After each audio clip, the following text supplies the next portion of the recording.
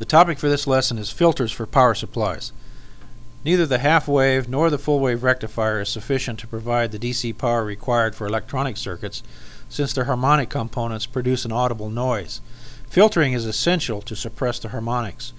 The frequency response characteristics of capacitors and inductors are utilized to attenuate harmonics and produce a smooth voltage with negligible fluctuations.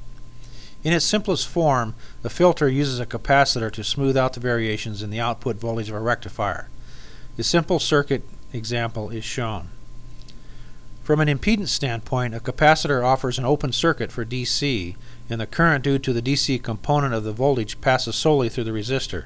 At 60 Hz and 120 Hz, the impedance of the capacitor can be made very small by selecting a fairly large value for C. The capacitor then serves as a bypass for the AC components of current in the circuit.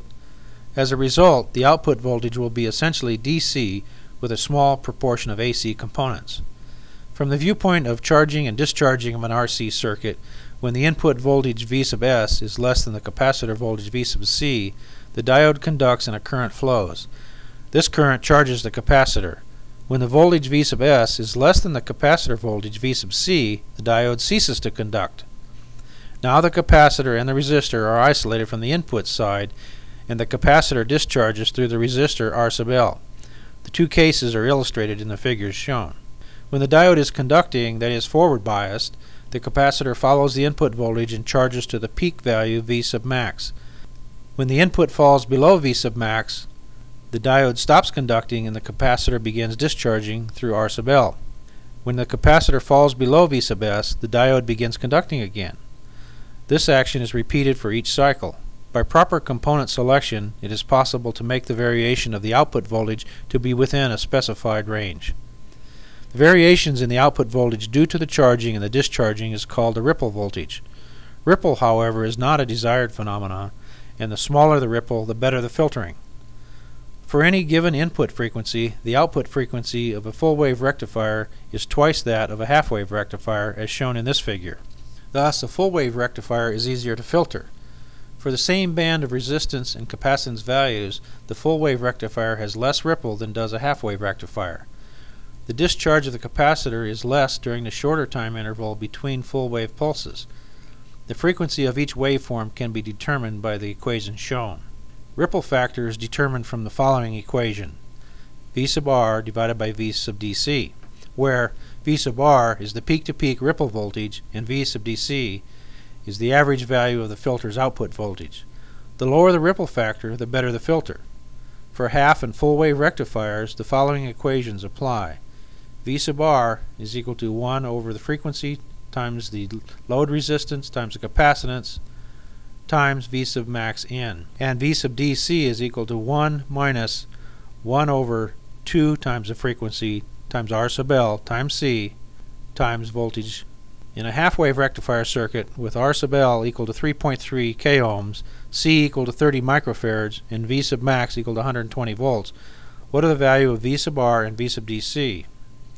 V sub R is equal to 1 over frequency times R sub L times C times V sub max N, or 20.2 volts. V sub DC is equal to 1 minus 1 over 2 times the frequency times R sub L times C times V sub max N, or 109.9 volts. When an inductor is added to the filter as shown in the figure, the ripple voltage is further diminished. A voltage divider is formed that greatly reduces ripple voltage compared to a capacitance filter. The magnitude of the ripple voltage from the filter is found by using the voltage divider equations shown. In the example shown, a 120 Hz full wave rectified voltage with a peak value of 175 volts is applied to the LC filter. Determine the filter output in terms of its DC value and the RMS ripple voltage. The DC input voltage is equal to the average voltage, which is equal to 2 times the maximum voltage divided by pi, or 111.4. V sub Rn is given by the formula 0.308 times the maximum voltage.